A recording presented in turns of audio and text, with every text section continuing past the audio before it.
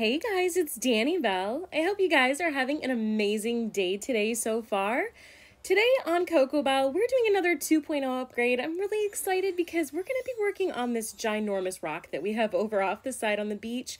One of the things I've been hearing from you guys, and I super, super appreciate all of your kind messages and comments. You all truly mean the world to me, and I'm just so beyond thrilled to be able to share this island with you. But one of the things you all bring up a lot is ideas for these rock builds. This is definitely a challenge in Animal Crossing New Horizons. I find that these large rock surfaces are such cool places to build, but there's a couple of drawbacks. You can't terraform on these rocks, and there's usually sort of an odd shape, so kind of trying to find a design that works with the odd shape of the rock and then sort of filling out even areas on the beach can definitely be a challenge. So today I'm drawing a little bit of inspo from this previous build. If you missed this video, this is actually an older video on the channel. I'm totally in love with it. This is actually a cruise ship that we created out of the peninsula on the island. This is, like I said, an older throwback video, but since we're sort of revamping the island itself, I'm thinking we definitely want to keep the cruise ship. So some of the builds on the island I want to keep, some we're sort of demolishing and reinventing. This particular rock used to be a yoga studio area, and I really love that build. There is a video on that as well. I was kind of torn on this, honestly, guys, but ultimately I think it's going to be fun to refresh this, so let's turn it into a boat harbor. I think being that it's behind the cruise ship, it'll be totally perfect. So let's speed things up and get going. I'm really excited to do this build with you guys. We have some really stellar custom designs that we're using on this build today. We're using this pond and as well as this sort of wooden dock. And if you can tell with this particular design, I love that the wooden dock has little peaks of water, sort of like a blue tone. So it's very convincing as far as if you're trying to create the look of water on an area that is not um, water on the game, this is a great custom design to use for that. We're also using this beautiful pond pattern. I love this pattern. This is a pattern we used on the island previously before the upgrade, but I wanted to kind of keep it, just sort of revamping, like I said, and moving this design around using the pond in this particular area I think is going to be fantastic, especially once we get the chance to place some of the items. And like I said, as always, I'll be sure to list the design information in the description of the video for you guys, so if you're looking for something like this to use on your island, you'll have it readily available. Okay, so let's catch up a little bit on this build. So we've basically filled in a lot of the area on the rock with either this wooden plank deck sort of pattern, and then I'm filling in the areas as best I can with this pond design. Now, like I said, the drawback with this is that the rocks are not terraformable and it's so weird trying to fit some of these patterns in, but just basically work with the area you have. I know that everybody has slightly different rock formations depending on which island you got. They're all a little bit different. They're sort of like a group of certain ones that you can get on the island sort of similar to the different shapes of peninsula. So work with what you have. That's my best piece of advice to get get a good design out of it. Secondarily, any of the areas that you're not able to fit a design pattern completely into place, like this little spot here, don't be shy. Cover it with something, just sort of disguise it and camouflage it. That's usually the best way to handle a situation like that because especially these rock and some of the beach areas are very difficult when it comes to fitting design patterns in on the ground. Okay, so let's catch up. We've added some really cute items. I love this wheat field item. I know I've said it before, but you guys, please get your hand on a wheat field item. You can customize them. There's a few different shades, a couple of green colors. I really like this dark green here for this build because it definitely makes the custom design here pop um, underneath some of these yachts that we're using. We've also placed a storefront and of course three of these yacht items, which let's be real, fitting three of these yachts on this rock was definitely a big undertaking. But as long as you can kind of turn them the right way, they usually come together pretty nicely. Okay, so I'm just trimming this out with a few extra items here. Um, we have a life Oh, Savannah, hi. She's so cute. Um, anyways, we are using some of the things like these life rings as well as the lighthouse itself. And yeah, just kind of thinking of little ways we can fill this in. And we definitely don't want to neglect the beach over here. I kind of thought that since we have the harbor right here, it would be nice to have a little boardwalk area, maybe something where you would see a little fresh fish market, something along those lines, maybe a little bit of a fish processing area, I guess is probably the best way to describe it. So we're going to go ahead and cover the beach beach. Now, one of the things about the beach is you can only use custom design patterns on the ground. You can't use any of the in-game pathing um, over top of the sand. So that is a struggle, I think, sometimes for us, especially when you want your paths to show up on your actual map. But all you can really do in this situation is make it look cute. So I think using something like this worn board decking pattern, which we've used throughout the island, is really a good option. It's super convincing to make it look like a real different type of ground that you have when you're working with all of your designs on here. So we've covered this entire area here with that. And then we're sort of going to build up from this area. I want to frame in the rock itself. So I'm sort of using anything that we can find that's sort of tall.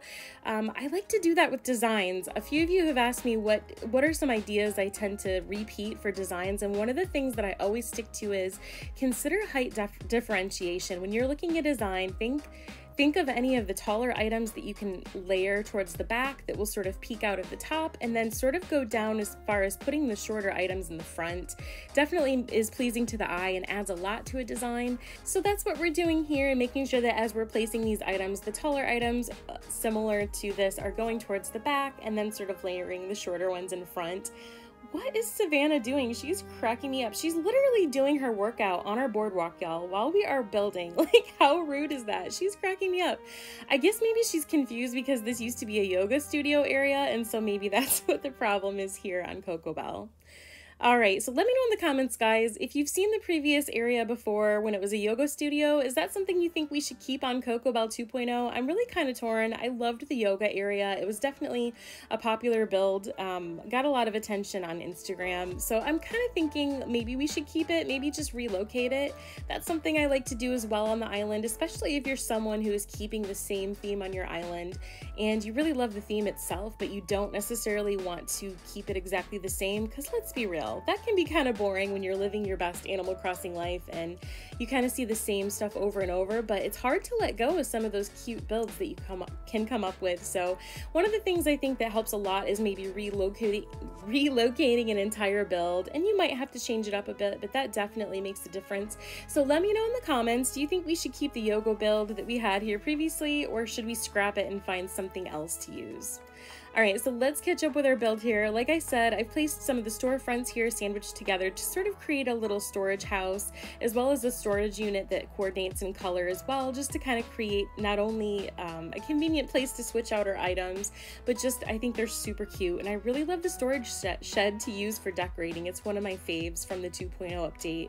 And then we're sort of creating a little bit of a seating area over here and we've used things like the conveyor belt, the stacked fish containers, as well as these food packages, which have these really cute cuts of fish, which I think are perfect for something like this. It's not a super um, popularly used item, I don't think, but I think it's really cute, especially for something that has sort of a seascape idea to it. All right, it's coming together. I really like how this came together over here. I did forget one street lamp, so let's get this out and place it right here so we don't forget about it because I really love how these curved street lights sort of frame in a walkway. In particular, if you're doing a vertical type of walkway, vertical areas are so hard to decorate, you guys. You don't get the same perspective. You really can't see the items you place quite as well. So it takes a lot of strategic placement, keeping in mind the height and the shape of items to sort of match it up so they're easy to see. But the curved street lights just, mm, they're perfect. I love them in a build like that. All right, so I'm loving this look over here. Love the overview here. I think that it's pretty convincing that there's water here and that this is definitely an area where the water kind of comes in to meet the beach. So it definitely is looking a lot more like a harbor and less like a rock over here. So I really like it. I hope you guys enjoyed this concept and I really hope you'll try it for yourselves. If you do, find me on Instagram at Peppy Crossing Play. I love it when you guys take these ideas, make them your own. I love to see how they came together for you. So don't be shy. Find me on Instagram. Also, if you have ideas of different type of animal content that you enjoy, either things we've done on the channel, I always love to hear from you guys. We recently did a Happy Home Paradise design tour for one of our subscribers, Gigi, and we had so much fun. So if you missed that video, please check it out because it's totally going to be worth your time. Lots of inspiration. Personally, I thoroughly enjoyed that. I really always love to see what concepts you guys are coming up with. Just really bringing a lot more inspiration to the Animal Crossing community community. So if you're interested, I'm still looking to do more tours for that, especially if you guys enjoy that type of content. Please be sure to like the video. And if you're not a subscriber, please consider subscribing to the channel. So if you would like to have your island's dream or some of your happy home paradise designs potentially featured on the channel, please check out the consideration form. It's in the description of most of my videos. I always love to see what you guys have been up to. All right, let's check this out from first person perspective. I love this angle on the camera in the game. I really love that they gave this to us. It gives us a nice perspective, especially with a vertical build like this. You can really see all of the details of the build. And I totally want to check this out too from the perspective of the yacht area, specifically where the boats are, because oh my goodness, I really love how this came together. I think that it's very colorful and bright. Definitely something that you can pull off for not only a tropicore or tropical type of island, but if you have sort of like a city or town core and you want to do a little harbor area, it, it would be totally something that you could incorporate into just the outskirts of your town as well. So really love the versatility of this concept and I love the wheat field. Oh my gosh, it's so perfectly convincing to be some form of beach grass or something like that. It's just, it's got to be one of my top 10 fave new items for sure. Yay, love it. I think we're actually going to hop forward in time. I kind of want to see this at night too, and I know that's something y'all have told me told me that you really enjoy is being able to see the difference of how some of these builds look in the daytime versus the nighttime. So let's skip forward here in time and see if we can get a perspective on how this looks all lit up at night. I'm really excited with how this lighthouse is going to look for sure. Ooh, check it out. Look at the lighthouse. It's perfect.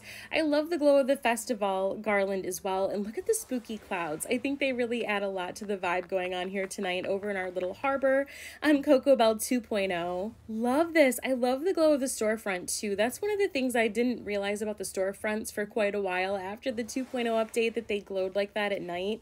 I do tend to do a lot of playing on the game itself during the day. So it's always fun to have a chance to be able to visit everything on your island at night, especially if you're planning a build that's going to have a lot of glowing or lit up items.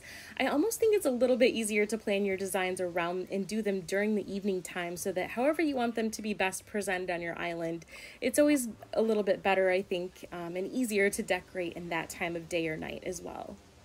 Love this little fish packing area. I think it's perfectly convincing. It definitely fills out this spot really nicely. I am sort of missing the yoga studio, guys, but I really love how this came together, and I think it's probably one of my new favorite designs for the island. I hope you guys have enjoyed some of the beach builds we've done. If you missed those videos and you're looking to catch up if you're a new subscriber, um, a lot of the videos here on the Cocobelle 2.0 playlist are sort of beach oriented. So if you're looking for some inspo on how to decorate your beach for if you have a trop tropical island or just looking for some ideas on how to fill it in please check out those videos. We did a beach rental as well as a juice bar, so really enjoyed doing a lot of these builds. Hopefully, um, pretty soon we'll have another villager hunt coming up. It's been a little while since we've had any of the villagers asked to leave, so I'm kind of anticipating that someone will ask to leave soon. And then hopefully we can get another Tropicore Dreamie hunt going on here on the channel. Other than that, guys, thank you so much for watching. I hope you enjoyed this video. Wishing you all an amazing day. Take care, and we'll see you in the next one.